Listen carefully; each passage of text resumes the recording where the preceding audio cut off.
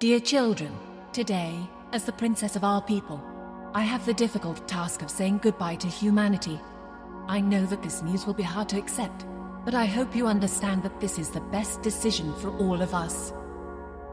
For generations, our people have struggled for survival in this dying world. We have tried to find a solution, but there has been no chance of saving Earth. Now, we have to let it go. I don't like to think about what we will leave behind, but I am certain that we will always look forward with hope. Our people have shown great strength and resilience over the years, and I know that that will continue. We may be able to survive on a new world, but most importantly, we can keep our human. Always remember that your legacy is your history, your ancestors, and your people. May love and respect always guide your actions, and may your hearts be open to the beauty and wonder of our universe.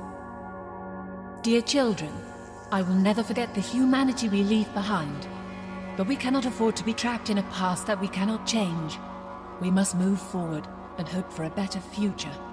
And I know we will, together. With affection, your princess.